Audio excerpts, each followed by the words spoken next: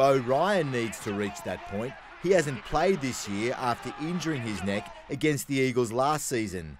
He wants to play again in three weeks. It's scary, you know, you think about um, life after football and things like that, but I want to make sure everything's right before I rush back into playing. You know, it's a long year and it's, it's heartbreaking not to play, but at the same time, I've got to be smart about this. Ryan will see his surgeon on Monday for an assessment. I've done a bit of contact on it and I am mindful going into the tackle and, and, and running the ball about it. And I, I just want to be, um, you know, I want to be uh, not thinking about it when I play and I want to I train pain free. And until I get that, um, you know, that news off the doctor, then I'm not going to I'm not going to go forward and rush it.